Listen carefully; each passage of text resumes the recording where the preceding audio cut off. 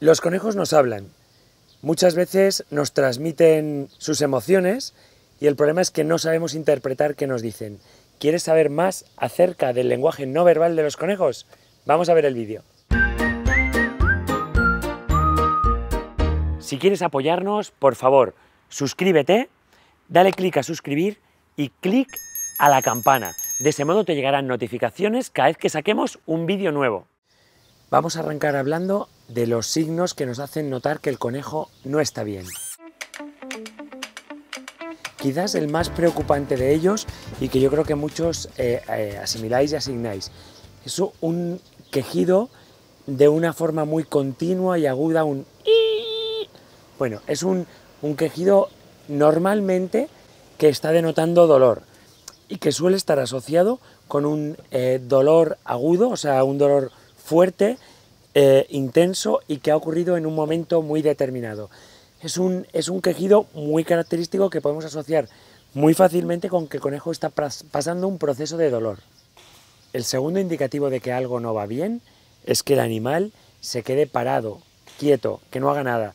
Los conejos sabéis que son muy activos, duermen también cuando están quietos, pero cuando se activan, cuando van en busca de comida, cuando les abrimos la jaula, sabéis que todo el tiempo se están moviendo de una manera vigorosa, incluso que pueden llegar a dar saltos. Cuando un conejo no se mueve, cuando está más quieto de lo normal, permanece muy parado, ahí os tenéis que preocupar. Un conejo que, no hace ejercicio y que está más parado de lo normal es un conejo que puede tener dolor y que puede estar eh, pasando algún proceso de enfermedad. Segundo punto que nos tiene que alarmar. El tercer claro signo de que hay algún problema es el miedo, donde el conejo va a quedar bloqueado, normalmente con las orejas pegadas hacia atrás, con los ojos muy abiertos y muy quieto, en tensión, respirando muy fuerte. Eso es un claro signo de miedo que también hay que tratar de evitar. Vamos ahora con las interacciones positivas. Cuando al conejo realmente le apetece interaccionar con nosotros y viene hacia nosotros. ¿Qué es lo que vamos a notar? Pues como veis que es un animal que se encuentra relajado, que está tranquilo, que busca la interacción, que viene hacia nosotros. Muchas veces cuando se acerca incluso agacha las orejas, porque normalmente lo hacen cuando lo vamos a acariciar, que busca nuestra interacción, que está tranquilo, que está juguetón, o incluso cuando está eh, en su jaula o está suelto en una habitación y está correteando y saltando en círculos una clara evidencia de que el animal está a gusto, está relajado, está contento y está jugando. Esos son eh, signos positivos de que el animal se encuentra en un estado emocional positivo. Otro claro signo de tranquilidad y bienestar es justo lo que estáis viendo ahora. Un conejito que se tumba, que se relaja, incluso que apoya directamente, como habéis visto que hace ahora mismo, echa las patitas hacia atrás y apoya la barriga.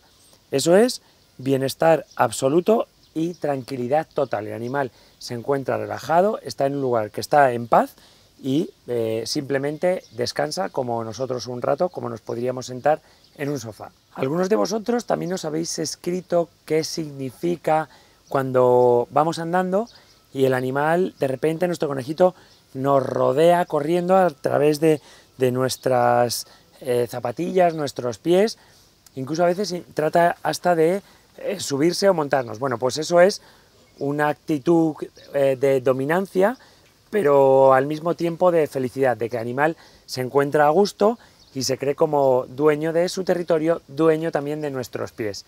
Es un claro signo de que el animal está contento y feliz en casa. Y por último, vamos a hablar de esos eh, gestos, esa conducta que nos hace notar que el conejo en ese momento no quiere interacción con nosotros. La primera de ellas es que se esconda, se escape o nos rehuya cuando nosotros nos queremos acercar. En ese caso es mejor no tocarle, es mejor dejarle. Pero también hay otros signos que todavía son un poco más agresivos. Los conejos pueden llegar a morder. Seguro que si tienes un conejo, algún momento lo habrás visto o lo habrás sentido. Como le vas a coger, incluso nos pueden llegar a gruñir, muy parecido al gruñido que puede hacer un perro, pero incluso si insistimos, a veces nos pueden llegar a morder. En ese momento el animal nos está diciendo que no quiere interacción, que no le cojamos y tenemos que respetar em, esa decisión que en ese caso es suya. Pero también hay un signo que podéis advertir y que si seguro que habéis convivido con, con conejos ya lo vais a saber, que es el clásico zapatazo en el suelo. Zapatazo en el suelo, eso es un enfado. Y desde luego no quiere interacción, no os esforcéis. Vamos a dejarle un rato que se relaje para después interactuar. Como consejo es, ¿sabéis la mejor manera de ganarosle? Pues eso, con un premio. Nunca obliguéis a un conejo si no quiere que le cojáis, no le persigas, no le agobies, déjale tranquilo. Siempre procura que sea el animal el que venga hacia ti. ¿Con qué? Pues con un premio, lo que más le guste de comer, o con un juguete, o con algo llamativo para él. Esa es la mejor manera. Y una pequeña anécdota, ¿sabéis qué significan esos zapatazos de los que hemos hablado antes? Pues realmente la naturaleza lo hacen para avisar a sus congéneres de que hay un peligro. Por tanto, que él no te considere a ti un peligro. La mejor manera es que siempre aproveches momentos en los que el animal sí que quiere interactuar contigo.